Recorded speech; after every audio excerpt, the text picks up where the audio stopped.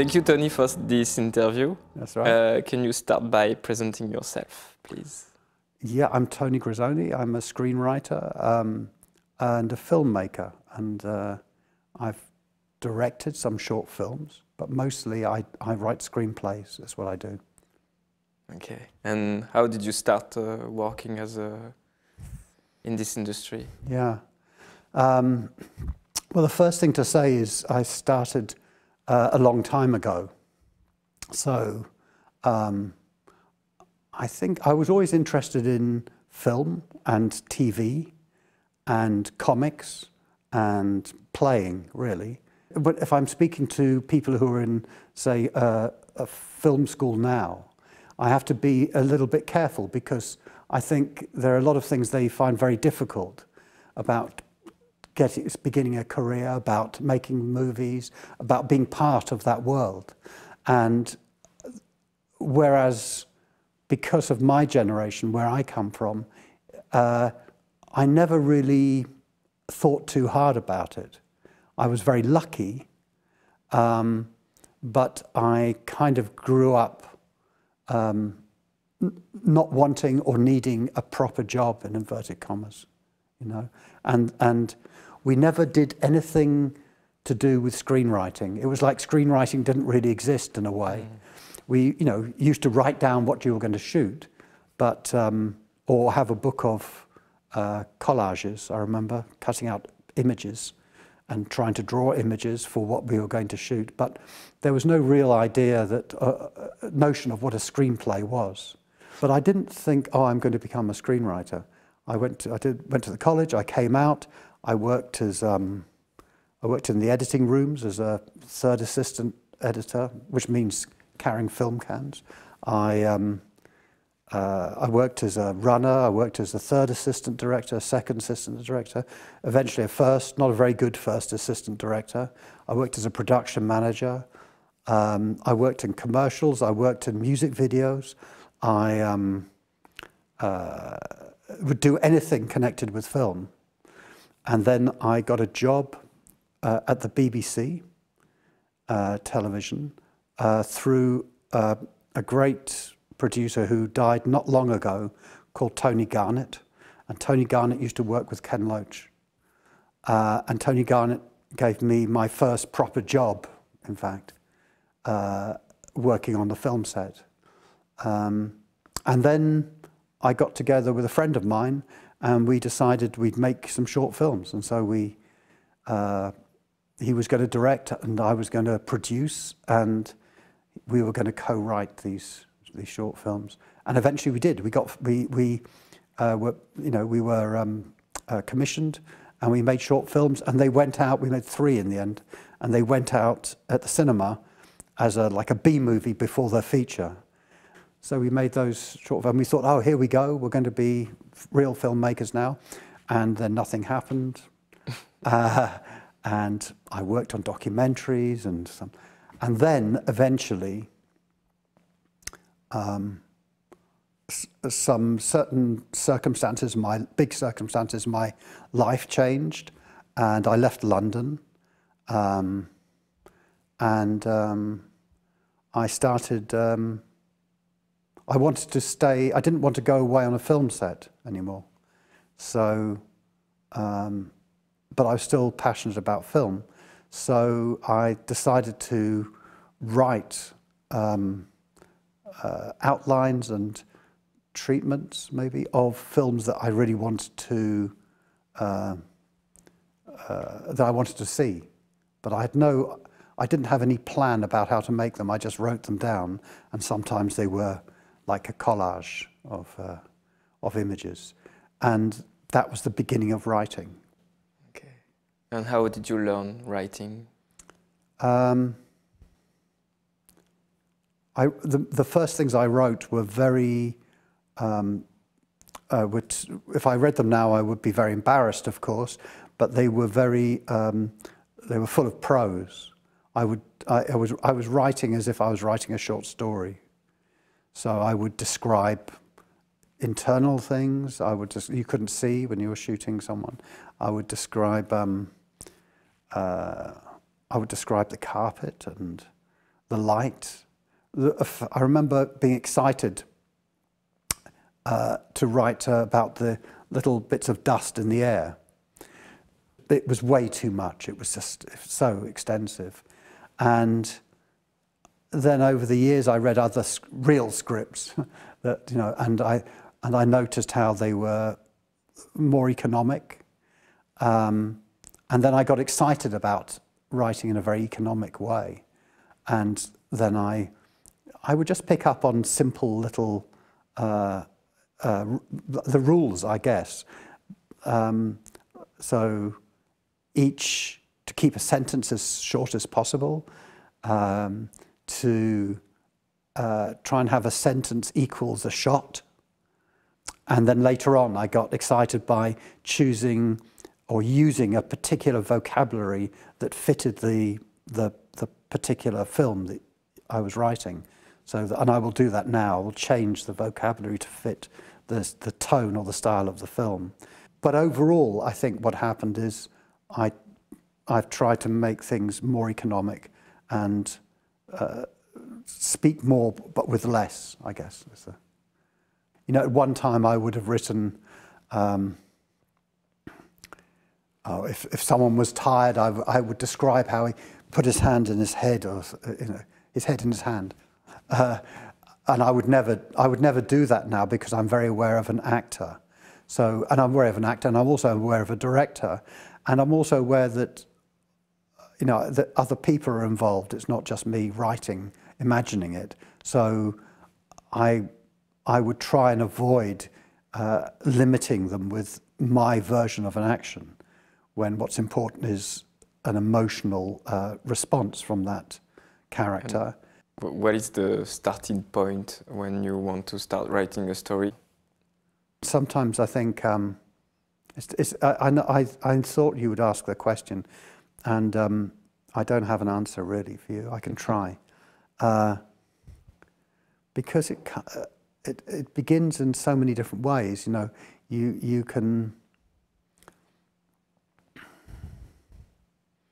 you can be watching someone um, behaving in a particular way. You can watch someone uh, be embarrassed in public and be captured by what they're, how they're behaving, and that can be the beginning of something. You know, you wonder about them and why they're embarrassed, and we wonder about why why are you connecting to them, and why do you feel their embarrassment, and that can grow into something. Or, you know, it's like just now we were sort of walking on a beach almost, and uh, there, there, were there were you know there's particular long grass there, and it's blowing in the wind, and it looks very beautiful to see this grass moving in the wind, and so you can you can stand there and look at it, and you know a scene will emerge from looking at that grass there, or you will remember something that you that happened to you, or you will remember a film sometimes, you know.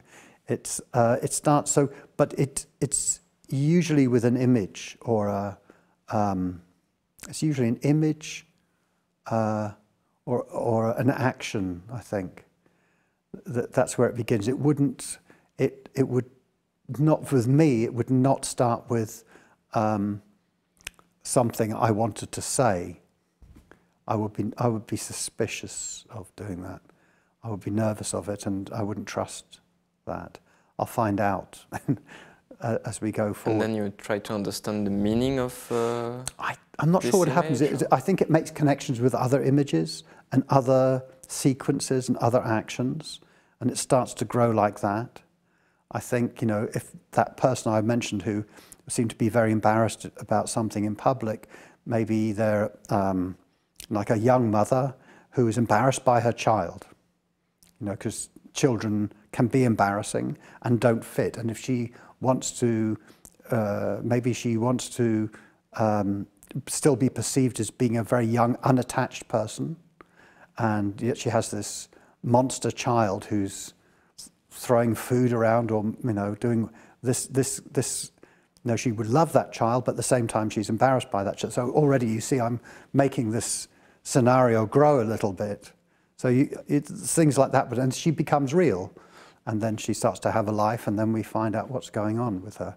So it would, it would grow like that. And then at some point, you write down uh, the scenes that you want to see or the scenes that have to be. You don't write down the mistake is, I think, sometimes to start telling the story bit by bit, but I find it more interesting to just, oh, I really want this, this scene would be great, and I really want, and I'll write this scene. So you end up with a series of scenes like this that you, you want to see, you want to experience in some way. And by the time you're doing that, then there's a, a narrative is unfolding um, very quickly after that. And you're saying you want to experience as a screenwriter or for the, for the spectator? You are?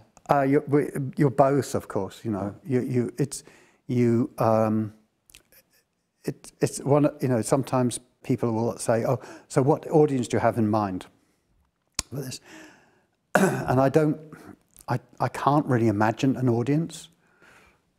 I don't know what I, I have to imagine, you know, it's a, because people are so disparate, they're so varied.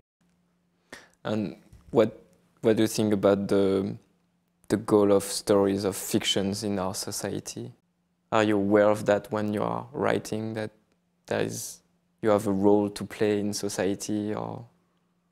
Um, I'm not. not. I'm aware. I'm aware that I have a role in society, or that I, I'm aware of being part of society. I'm aware that um, I don't want to be writing stuff or making films which are detached from society. I don't want to. I'm I'm very. Um, I'm concerned to know what is happening, and I'm and I will have an opinion, um, and I will have uh, depending on, on, what it is, I may play a part socially. Um, you know, I will have I will have particular political opinions. I will have political uh, certain allegiances. I will have all of these things. These things exist. They're part of my life, um, and I'm aware of them. I'm aware of that filtering into what I write, but I'm also I don't want to write a piece of propaganda I guess. Um, does that mean that you need to fight against your own opinion, or? It means that I don't want to preach, uh, and that I want to find a kind of reality, if that makes any sense. I, I that I want to. Um, I will. I will. I'm very attached to character. So I will really, I'll do anything I can to try and become those particular characters at different points. And I don't want to lie about them. So I'm aware that a lot of is going on in an unconscious way, but um, I am not. I won't have a character um, be a mouthpiece for what I feel, but I, what I know intellectually. I would never, I would never do that. You can play. It's, it's a playing thing. And sometimes the playing can be quite um, uh, confrontational for no other reason that you, maybe you're sick of how polite society is and you want to behave badly, you know? It's like, um, I remember waking up uh, after the Brexit vote had gone in favour of Brexit, and it was something I was personally afraid of happening, and something that I'm passionately against. You know, and yet it happened, and there was, and I was aware of a double reaction. I was aware of um, being really miserable and disappointed in this happening, and then on the reverse, I was aware of a kind of excitement which was a kind of will to destruction, I guess.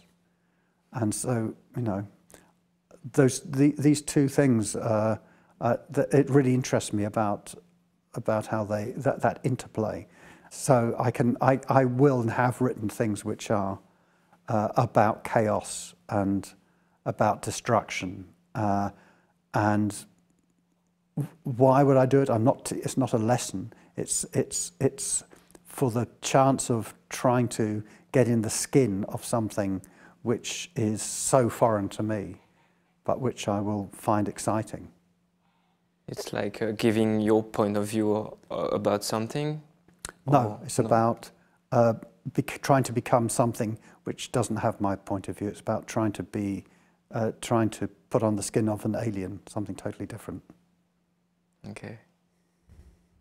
And what do you think about all the books written about making stories? Do you think they are mm. um, limiting screenwriters? I think if you're interested in the business of screenwriting, I call it business, uh, in screenwriting, mm. then th there are many, many books. I see no harm in looking at them. I, you know, but there are many. And um, uh, I don't think you will find a book uh, which will tell you how. I think you're more likely, that if there is a book, there is one book I came across, which is by a ma man called Keith Johnstone, called Impro, which meaning improvisation. And originally it was a book for actors. I found that book more helpful with screenwriting than any book that says it's about screenwriting. And it's, it's, um, he, he was a really fantastic uh, dramaturge, really, and he worked with actors and he did a lot of improvisation work. So he understands about things like self-censorship, and they're all connected with acting, but they apply to writing as well. And so it becomes really interesting to, uh, to um, find ways of, of, of avoiding your censor, your inner censor. So, you know, that's why a lot of people, me included, write early in the morning because the closer to sleep, the better, because it, it, you know, your, your conscience hasn't kicked in properly quite yet, so you, you'll still have certain freedom. But what would be the, the basic that make a story for you? what, what is the... For me, uh, I, I, I'm sort of, the, uh, I'm obsessed with a very few things. I really, I really get excited. I like a, a kid about the idea of going to another world. I just, it's like the biggest thing for me. And it's, it's, it's about, it's about um, going to another world, whether it's, you know, it can be a fantastical thing or it can be a past world, or it can be a different quarter of the city you don't know, or a different, you know, it can be anything, but it's about being, arriving somewhere where you don't know the rules. And it makes me very, very excited. And so I, I, you know, if you're asking what makes a good story, then for me that's key. That idea of being like an alien in a place, not knowing, not understanding what's going, what, how things work, or what's going to happen. And then also uh, um, getting to, um, into some altered state, whether it's through a drug or whether it's through um, uh, sex or whether it's through just an elated feeling for something. I mean, those kinds of transcendental moments. I mean, I, I get to but, but that's very close to going to another world, you know, that's just about an altered state. So it's about, about being in a place which, in a new existence somehow. And when you write about, uh, not a fantastic world, but mm. uh, a, world that you don't know, mm. how, how do you do? It's research, you find another mm. screenwriter that knows this world, mm. or no, I, I would, I would um, try and go to it or imagine myself in it. There was a short film I made which was uh, called Kingsland, which is set near where I live in London, but it's a Kurdish diaspora. Now, I'm not Kurdish, I don't speak Kurdish, I don't speak Turkish, uh, but a lot of these Kurdish people came from Turkey as a result of um, escaping the, the, the, very dirty war by that time. And these people are on my doorstep. You know, I saw them all the time, and there were certain shops, certain cafes, and so on, restaurants that they ran, that knew. But I, I, I liked being around the place because it didn't feel like um, white Anglo-Saxon uh, London, you know. I mean, and and so I was excited, but I didn't know anything about them.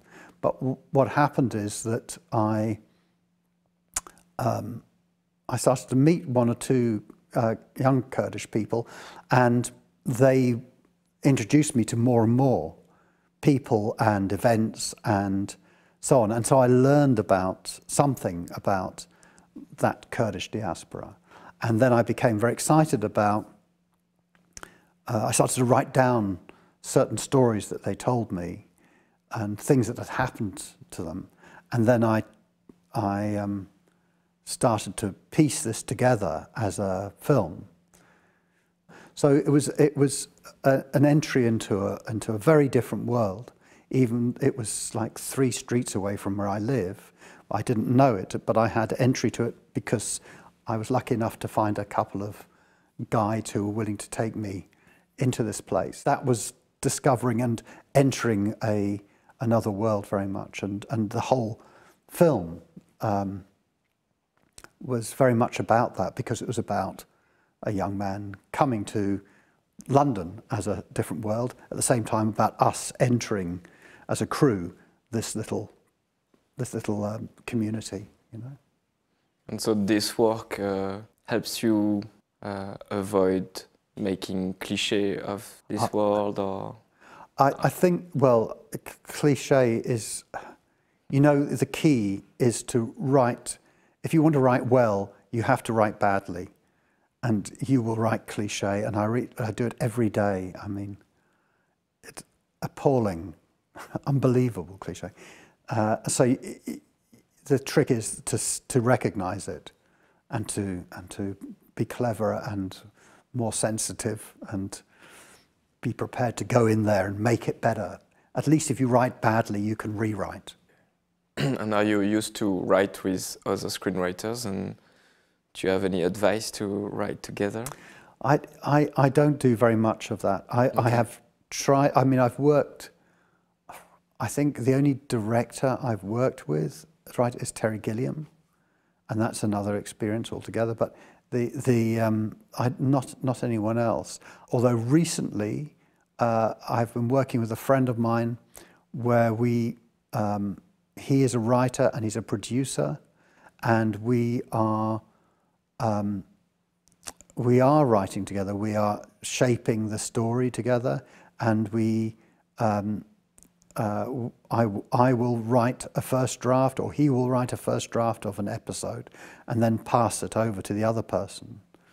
Um, and it's working, touch wood, working really well so far because we try not to be judgmental. We try and ask questions rather than provide answers. It can mean that you don't get stuck so easily because it's not just you.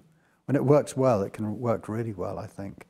But the biggest thing is if, we if you and I were working, we are working together now, but the biggest thing is to listen and, and you know, so what, are, what is, what's being said and to make space for someone else and not to be too fast with um, uh, rejecting something, you know, to give it time and to enjoy the fact that you are working together.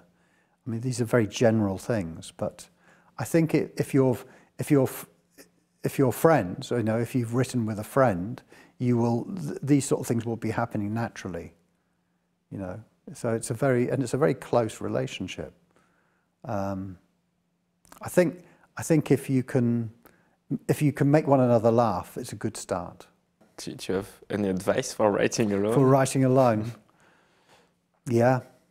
Um, have a, have a routine. Decide are you an early morning writer or a late night writer?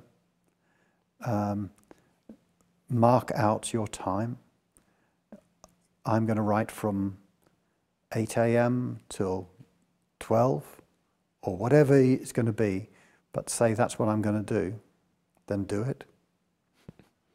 Um, what, what do you mean by writing when you say from this time to this time I you, write? Do you actually yeah, write or? Good, good question. You've, you are turning your attention to the thing you're making. That's what you're doing. Mm. And it depends what stage you're at. It's tricky if it's very early because you could say, yeah, I'm going to attend to this. I'm now going to an art gallery and going to look at some pictures. This is, that's tricky because you're now surrounded by a lot of other influences. I would say it was probably better to go to the art gallery in the afternoon and continue the work in that way. There's something, I think the, this period of time that we are calling writing is about focusing, it's about turning your attention to. Sitting or standing doesn't matter. Laptop doesn't particularly matter, it depends how you get it down, but you are focusing somehow for a period of time. But I think you have to, you have to remain for that period of time in that place without any, without other things um, gaining your attention. Um, so there's that. Then um, walking is everything. There is a connection between writing and walking, which I don't fully understand, but there are lots and lots of of um, of books out there going way back about the the, the where these two things meet. Um, I, I would say you should have a you should have a notebook or some way of taking down notes as you're walking, because otherwise everything vanishes.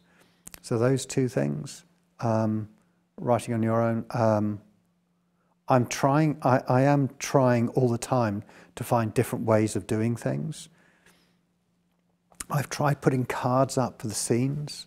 Um, at the moment, thanks to Le Groupe Ouest, I'm now deeply into the tarot. And so I'm, I'm, I'm experimenting with that in any way I can to try and surprise myself, I guess. And how do you keep learning uh, new ways to think about stories or to write? By meeting people like you who are new people is one way. Uh, by um, being involved in in pla certainly places like Le Groupe Ouest, that's one reason why I'm here to try and find a way of reinventing myself a bit. Um, but communication with other people who are trying to do the same things. And by hearing other people's stories about trying to work in movies and TV, you try and you do this, if you do this enough, then you don't make the mistake of sitting back and thinking you know everything. And, and you know, it doesn't, it doesn't matter how old you literally are, but you don't want to be, you know, an old person who seems to know everything. That's not very interesting. Would you have an advice for yourself when you were young that would save you time it's not possible. You know that. you know that I can't save you time. You have to. You have to do. You have to find your own way through. I. I, I think. Although I'm. I'm happy to talk to you now. When I was young, I was very shy. And so I was very shy and very nervous. Um, uh, to say anything. Uh, so I could never, I could never I couldn't, I found it very difficult to speak. I was very, just embarrassed, you know. Um, but I couldn't say something to make myself less shy. Um, I think I, I try and encourage me to take a little more time and to think about things before acting so rashly or such a quick in a quick way, making terrible mistakes in all kinds of ways. But that, that's me talking to myself as a young man. That's yeah. not being a young man, you know. But as a screenwriter, like advice for, let's say, young young screenwriters. Do you think young people should write stories, or they should wait to have more experience of life. No, no, write stories. Just write. You shouldn't. You don't need. You you you gain experience as you go along, but write. Just do it. Do it. I mean, the the main key is just to to to write it. It's not just writing. We're talking about screenplays. They have to be made. So you know, go make the things. You, the the big mistake I think is. You know, there's a big queue of people waiting outside with a hat, like waiting for money going to ask the same, the same few people with money. Um, and why, why do that? Why put yourself in that position? Somehow you have to find a way of just doing it and getting and making something. In a way, it doesn't matter how you do it or what level you're doing it, as long as you are making something, I think. Um, and not to, and I think I would, so I would certainly say that to my young self, but also not to imagine that the mainstream had all the answers, because it doesn't, of course. You know. Okay. Well, thank you, Tony. Oh, I hope you got something out of Yeah. all that stuff.